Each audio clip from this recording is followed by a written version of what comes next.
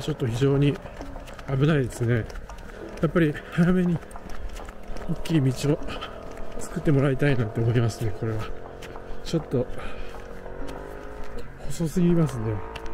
ねここ通るのは本当に不便かなと思います。それは向こうもと向こうを取って行こうってあんまし思わないかもしれないですね。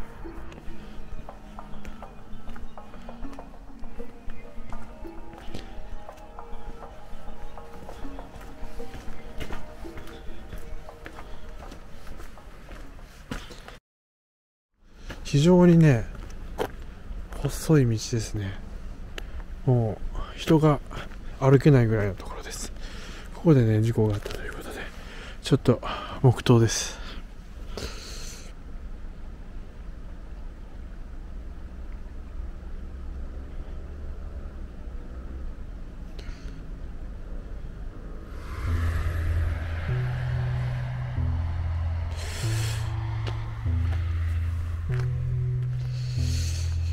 というわけでこの旭川沿いにやってきました、まあ、以前とかねこの辺とかは家が建ってたんですよね。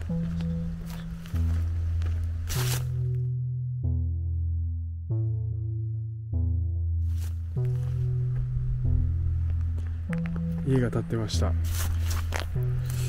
あ、バラック村っていうね場所なんですけども、まあ、今ほんまに人がいなくなってという。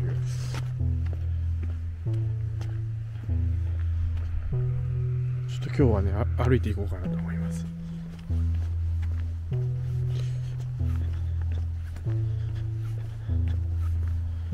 だから道をね広げるっていう話を聞いたんですけども、まあ、すぐそこが道道路通ってるんですけどあのー、結構夜とか昼間とかねあのー、歩道がねないんですよねほとんど。だからね結構最近もね死亡事故があったりとか結構ね危ない場所だとはされてんですけどもこういう感じでね徐々に今変わっていこうとしてます。今ね線が張ってあるとことかもねとうとう家があったところなんですけど。この奥の方まで行って行ってみましょう。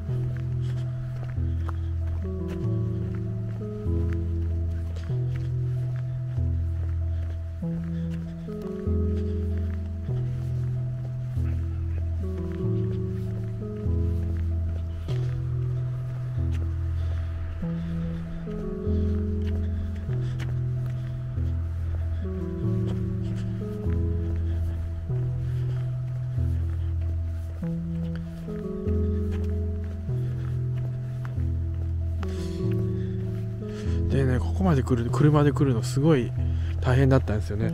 向こう側にも家があるんですけどこっちからね直通直通で来る道を探すのが結構大変でした。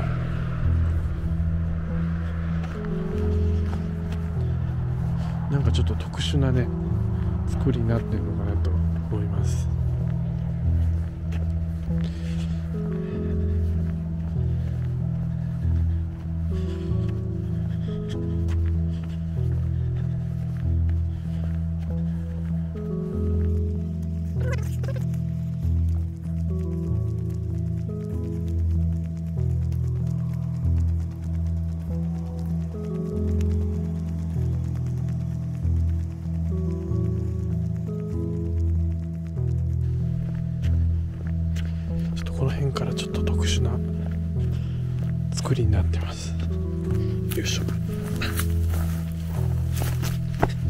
切りみたいなのがね存在します。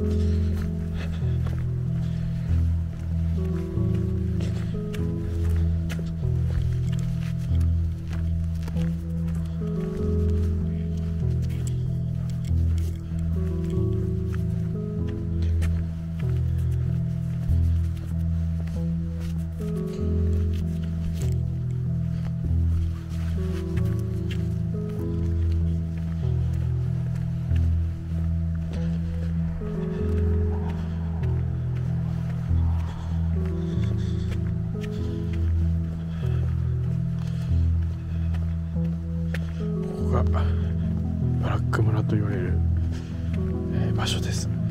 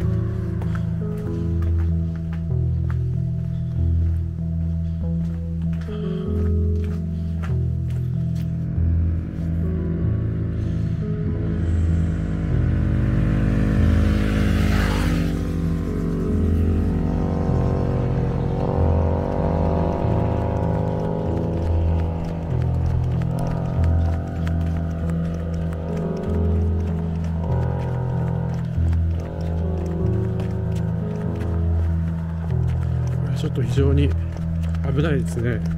やっぱり早めに大きい道を作ってもらいたいなって思いますねこれは。ちょっと細すぎますね。余裕もないです。やはりなんかいろんな意味があったんでしょう。